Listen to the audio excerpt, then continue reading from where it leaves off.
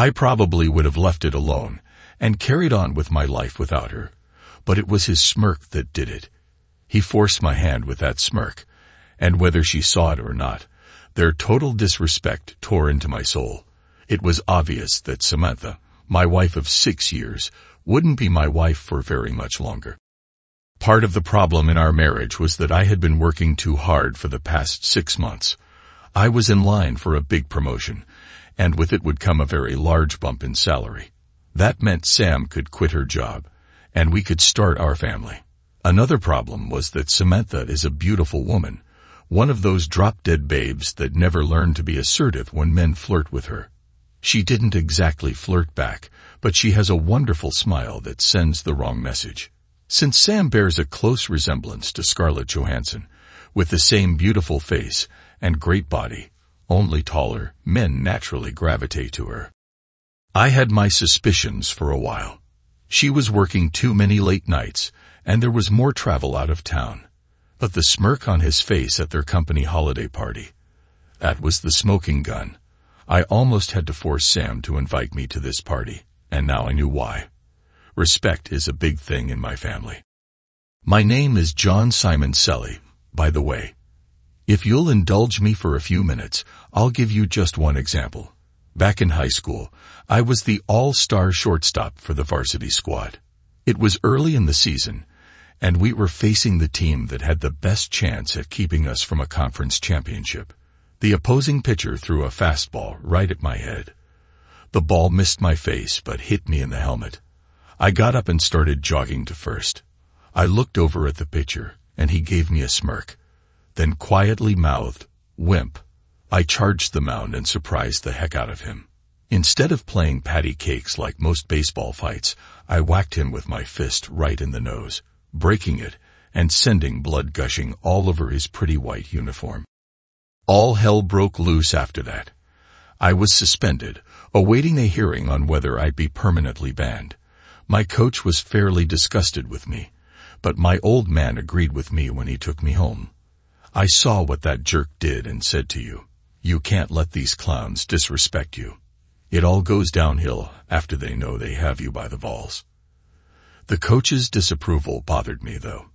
He'd been my coach for the last three years, and I wanted his respect.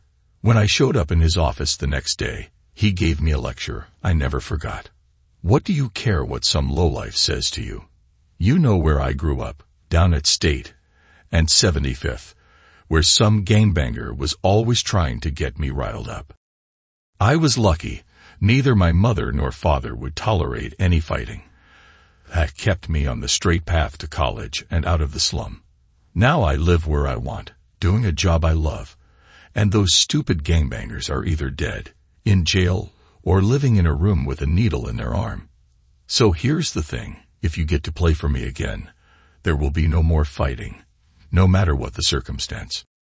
I ended up serving a three-game suspension. Somebody was looking out for me because, at the hearing, Ron Mueller, the opposing catcher, showed up. It seems he was disgusted with the way in which his coach was trying to win. Their coach had ordered the pitcher to throw that fastball with the intent of getting me banned permanently. Ron didn't want to win the title that way and save my skin.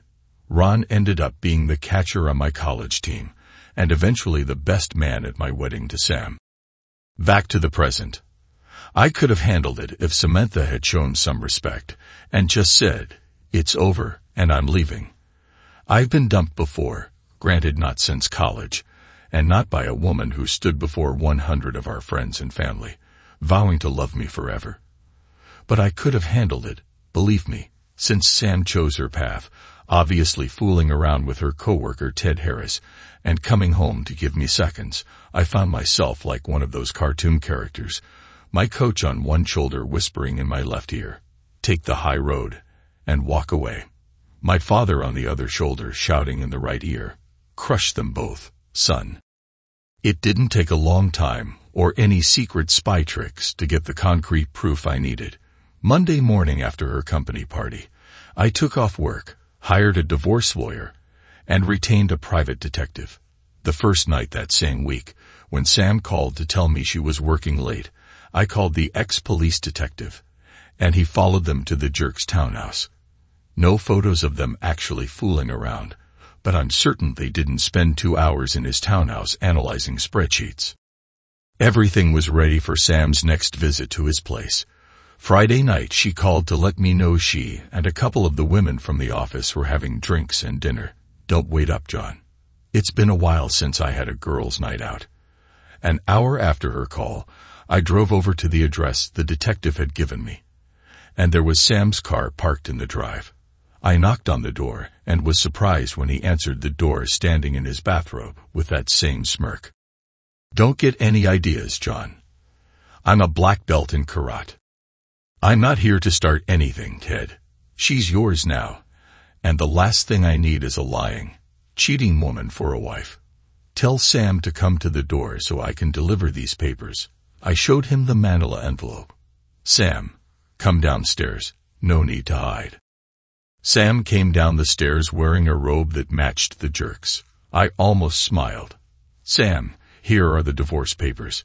Get yourself a lawyer and have him or her contact mine to work out the settlement.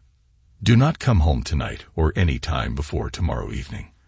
By then, I'll have my stuff out of our apartment, and you can come back. Sam took the envelope as if it were radioactive. John, my folks and my brother's family were supposed to come for brunch tomorrow. What am I supposed to tell them if I'm not there? Not a problem, Sam. Just before I came over here, I emailed your brother and gave him this address. I told him you and Ted would be hosting your family here instead of at our apartment. I'm assuming he'll get the message in time. If not, I'll let them know about the change in venue when they arrive tomorrow. Bye. I looked at Sam. She was starting to break down and cry, but then I saw it on her left hand and almost lost my cool. Sam, you didn't even have the decency to take off my grandmother's wedding ring when you fooled around with this bastard. Give it to me now. The ring you gave me is in the envelope with the divorce papers. Sam broke down completely, but did get the ring off her finger. I left without saying another word. I wasn't completely surprised when the doorbell rang Saturday morning at 11 a.m. Maybe her brother didn't get my email in time after all. This will be awkward, I thought when I looked out the window to see Sam's family on the porch. I didn't have a clue how awkward until I opened the door. John, we're sorry. I got your email, and I talked to Sam. Can we come in and talk? For the next hour, her brother, mother, and father did their best to convince me I should let Sam back home and drop the divorce. It seems Sam went to her brother's house after I left her and Ted, confessed everything, and asked for their help. Sam knew I loved her mom and dad, especially since my folks moved to the Sunshine State after my dad's retirement. The three of them talked about counseling, forgiveness, pity, etc. I spent the next full hour trying to convince them it wasn't going to happen. No one was happy, and there were no smiles when they left. It took every bit of my willpower to not hug my mother-in-law when she walked out onto the front porch. She was crying, and I wanted to tell her it was okay. But it wasn't, and I didn't give her that hug. We did the usual dance for the next few months until the divorce was final. She wanted to talk. I didn't. Her attorney asked for counseling. Mine said it would be a waste of time and money. The marriage was irrevocably broken by my wife's infidelity. The week before the divorce, I was invited over to Ron's house for dinner. He knew more of the messy details of why Sam, and I broke up than I did because his wife Gerald and Samantha still talked occasionally. I was sitting in his kitchen, watching his wife Jelly cook dinner. Jelly, that's what we all called her, was seven months pregnant, and she just glowed. Ron saw me staring at her tummy and knew what I was thinking. John, let's go out on the porch and chat. I'll meet you out there. My beer's gone. I headed over to the fridge, and on the way out, put my arm around Jelly's waist. He adores you, Jelly. Don't ever cheat on him. Why would I do that, John? I love that man, and we're going to have a little boy soon. I'm not crazy. That's what I would have said about Samantha a year ago. Look at us now, six days from a divorce. Sam got stupid, John. I'm not near that dumb. Ron's not going to try to talk me out of this, is he? Go on out there and listen to what he has to say. I'll tell you what I tell Sam every time she calls.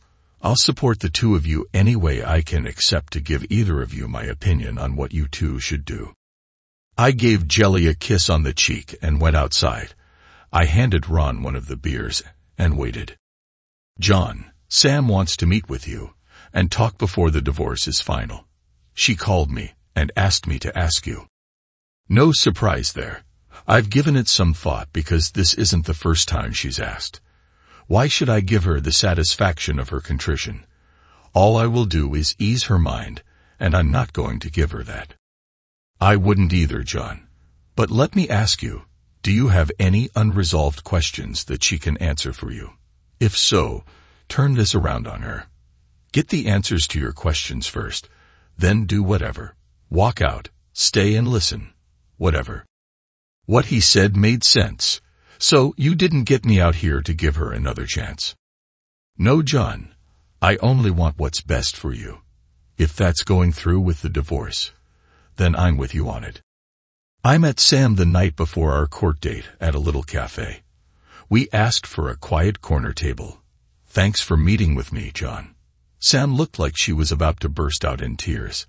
It took every bit of my willpower not to take her small hands in mine. I didn't give her the chance to start the discussion. Sam, I know you have things you need or want to say to me, but first I have a couple of questions. The waiter chose that moment to take our drink orders and start the spiel about the chef's specials. I interrupted him as politely as I could, ordered a bottle of wine and the chef's salad to split, and asked the waiter to please give us as much privacy as possible. He understood. Sam, my first question is, why? I thought we had something special. We did, John, but the reasons for my actions are all old cliches. We'd been together and exclusive for seven years. I was seduced by a good-looking guy in the workplace who complimented me on anything and everything. You were spending more and more time thinking about or being at work. Not fair, Sam. You know I only put in the hours to get the promotion.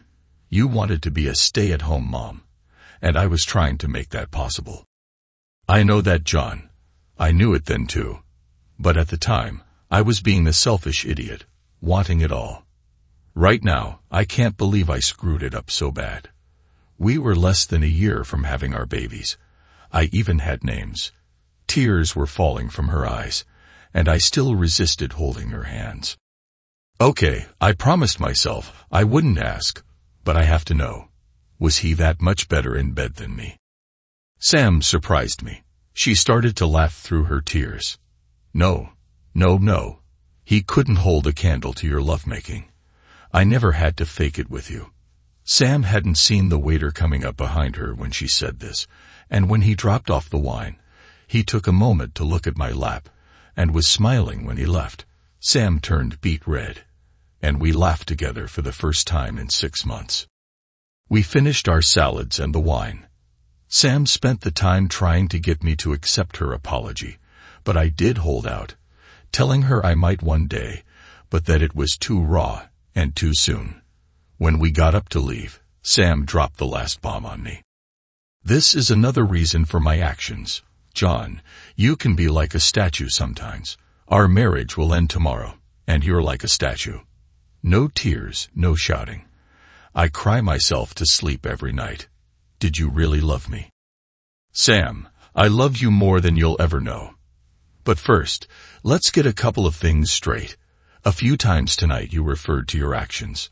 Let's call it what it was. You cheated on me, Sam. You fooled around with another man when you were supposed to be faithful, forsaking all others. Second, whether I go home tonight and get drunk or cry is my business. Chances are, after our divorce tomorrow, you and Jerkface will be a couple. He's already shown what he thinks of me by fooling around with my wife, ending my marriage, and laughing at me the whole time. If I cry right now, or if I told you about my bad nights, you're bound to tell him one day. Then that arrogant prick will have one more laugh at my expense. Don't push it, Sam. You don't want to see the demon that lurks just below the surface. I didn't go to court the next day. My attorney handled it. It was a modern, no-fault divorce with an equitable division of property. That day, the marriage just ended. Months passed since the divorce. I used the time to plan. I did get that promotion at work and the great bump in pay, but didn't have anyone or anything to spend it on. I probably spent too much time on Reddit after Ron told me about it over drinks one night.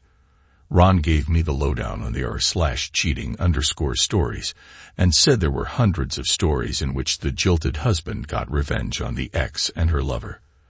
I read the stories, taking notes and ranking my favorite methods for revenge. Ideas that would land me in jail ranked pretty low. Psychological terror ranked pretty high. The rankings changed after I had the misfortune of bumping into Ted one afternoon. I didn't know it at the time, but following our divorce, Ted and Sam did start dating again and were now engaged. Ted let me know that he won. I lost. Sam was a fantastic lover that he couldn't get enough of, and I must have something wrong with my equipment since Sam was so easy to get into his bed when we were married. Was I a coward because I turned and walked away? I wasn't afraid of Mr. Black Belt, but I had just spent two years busting my butt to get that promotion, and any physical altercation would flush that half of my life down the drain. The guy had already messed up my love life. Would he get the satisfaction of wrecking my work life too? I walked away. You may call me a doormat for that, but it is what it is. My method for payback came to me out of the blue. It's a funny thing about some guys. They can't help but dip their pen in the company inkwell. Ted was no exception.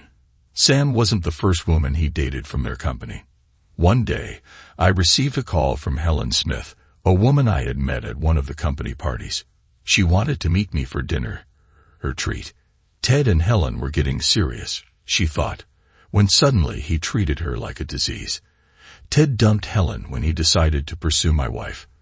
Things heated back up between Ted and Helen, while Sam was fighting our divorce, but immediately turned frosty when the divorce went through and Ted and Sam became a couple again. Helen was pissed, and hell has no fury like a woman scorned. How could you let Ted steal your wife without so much as a whimper? I was at that holiday party last December and, and saw the way Ted acted. I was still in love with Ted and was hoping you would fight for your wife. You didn't do a thing. Are you clueless or just a wimp? This dinner invitation was Helen's attempt at giving me some backbone. I sat back, took a drink of my wild turkey, and thought about how I would answer her challenge. Helen, sorry, I don't know you and don't know how much you can be trusted. Trust is in limited quantity at the moment. But I can tell you I am not a wimp, and that someday there will be repercussions. Ever hear the saying, revenge is a dish best served cold. Helen looked at me. Dem, I didn't think. You're Sicilian. That's right. And if you're really interested in some revenge, then just sit tight for a while, and one day I'll call you and ask for a favor. Nothing illegal, but very important. I went home that night, and my ideas started to gel. But could I trust Helen to keep her mouth shut?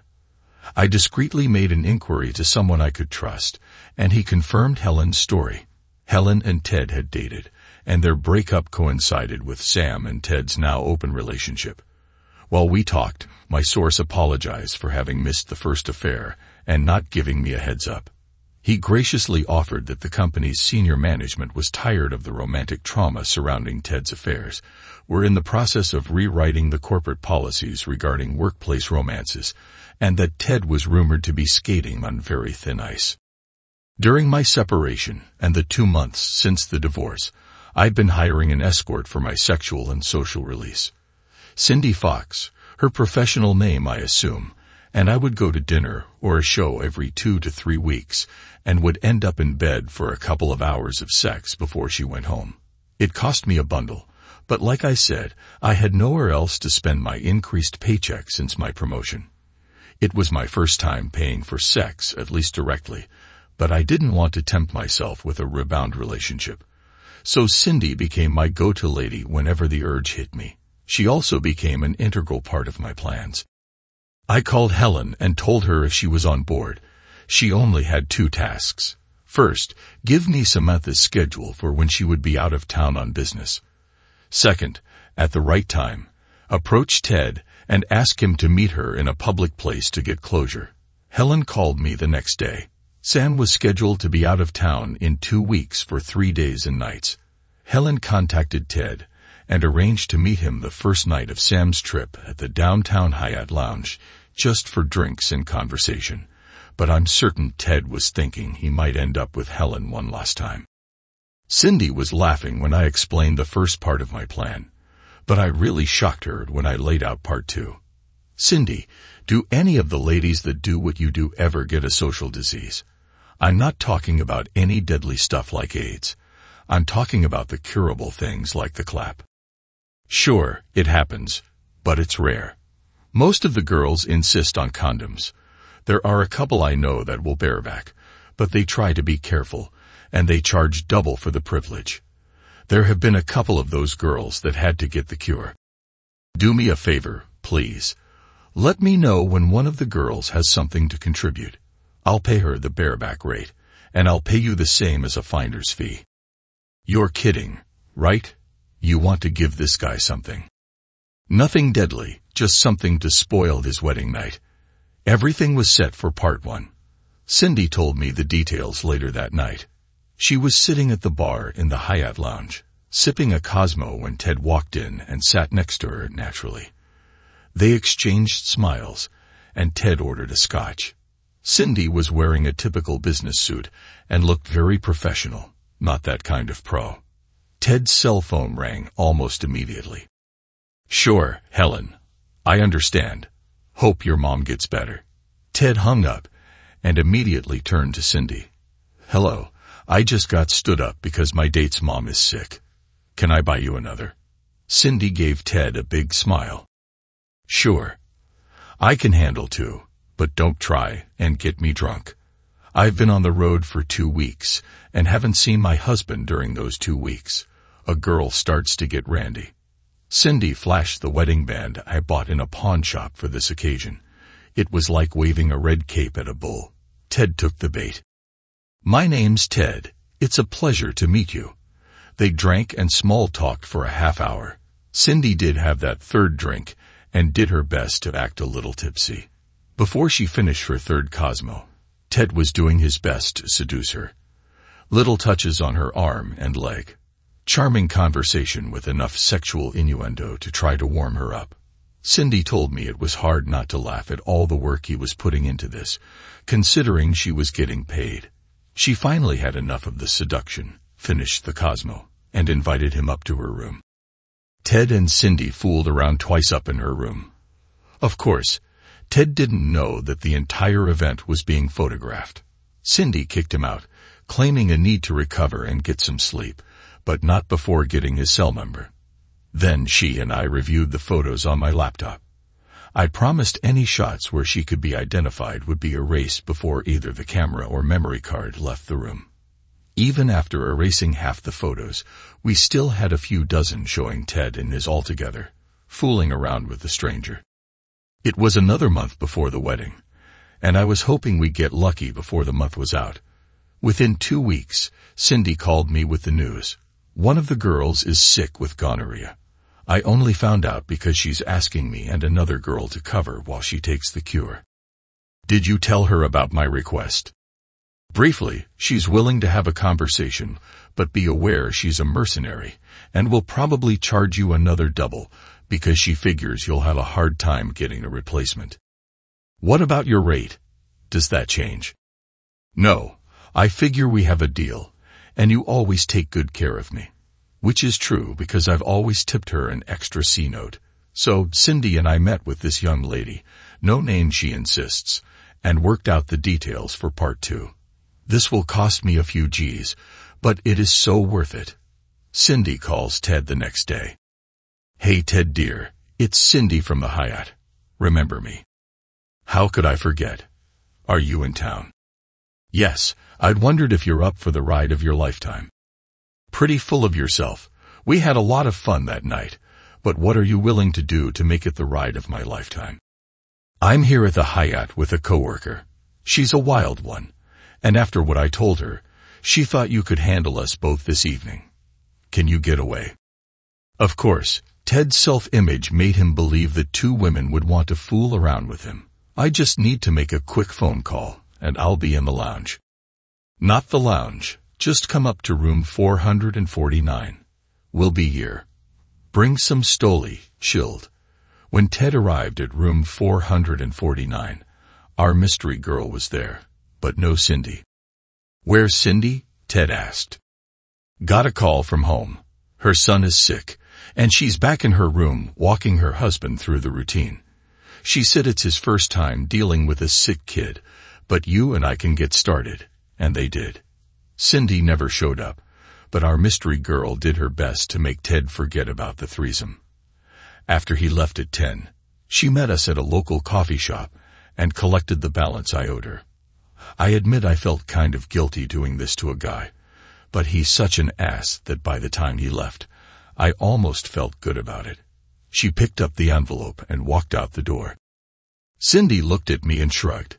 Told you she's a mercenary. You paid me for the night. Wanna go to your place and fool around. I did, and we did. I waited until the week after the wedding and finished my project. Both Sam and her company received envelopes in the mail with phony return addresses. Both envelopes contained a brief letter and a set of photos.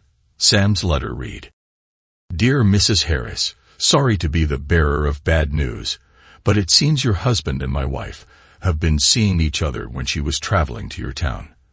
The PI hired to get me the proof provided me with these photos. I only included those that show his face, so you would have no doubt it's him. I wasn't going to inform you except I just received word from my doctor that she's infected me with a social disease. You may want to get tested. Signed, the soon-to-be ex-husband of your husband's whore. The letter to the CEO read, Dear Sir, just thought you should know what kind of man your company employs. According to my wife, he picked her up at a bar, got her drunk, and proceeded to give her a social disease. Don't know if this letter will get to you or whether you care, but I'd watch the scumbag. He seems to have no morals. Signed, one sorry husband. Things quickly fell into place. Sam's family had the marriage annulled. Ted got fired, and rumor has it they both were on meds. It helps to have a friend in the county health service department. I pretty much went about the business of getting on with my life. Sometimes I imagine follow-up scenarios. In one scenario, I beat the living daylights out of Ted. In another, I pretend to get back with Sam, take her to a foreign country, then leave her stranded there without any cards, passport, etc. I might have done it too, except for the vision of her mother and what it would do to her. I may have been that cruel to my ex-wife, but not to my former mother-in-law's daughter. But I quickly lost interest as my new job became more interesting and challenging. That is until the next Simon Selly family picnic. Uncle Vin, my father's older brother, was there. Uncle Vin is connected if you get my drift. He called me over, and we had a quiet chat. Johnny, tell me about your divorce. What happened? I liked that girl. I gave Uncle Vin the Reader's Digest version of our breakup. What did you do about it? Then I explained what I had done to seek revenge. That's wicked, but not exactly scorched earth. No, Uncle Vin, I did my best to put it behind me. Take the high road. I told him why. That's good. And those are great reasons. You know, that baseball coach really did you a good turn. Uncle Vin wasn't any more or less a bigot when it came to racial matters, but he always thought it was funny that a black man from the Chicago slums had as much influence on my life as my father. If you took after that hot-headed dad of yours, you wouldn't be the man you are today. Many times, I had to settle my baby brother down, or he would have wound up dead or in jail. You ever talk to Coach Price? Only a few times, and not since I was a junior in college. I kind of let it slip. You should look him up. He volunteers at the Boys and Girls Club down on West Palmer. Let him know what he's done for you. A man likes to hear that once in a while. But right now, walk over to your father, give him a hug, and tell him you love him. He needs to hear that too. Uncle Vin was a funny guy. I've heard that he's feared by many, but he always acted like a teddy bear around me. I did go to see Coach Price, and he convinced me to start volunteering at the club. I even started dating his niece, a beautiful woman. But that's another story. In other words, no drama, just love. One last thing. On my 30th birthday, I received a birthday card from Uncle Vin. It simply read, Happy birthday, nephew. Nobody laughs at a Simon Selly. It seems a certain Ted Harris was found last night in the alley behind the bar he frequents. He was the victim of a mugging. Nothing life-threatening, but he did have a broken nose, a few broken fingers and ribs, and two very swollen testicles. I guess his black belt must have been left at home that night. Thanks to everyone who took the time to listen to today's stories. If you enjoyed it, please consider liking and subscribing if you haven't already. Feel free to share your thoughts on the events in the comments below. Take care.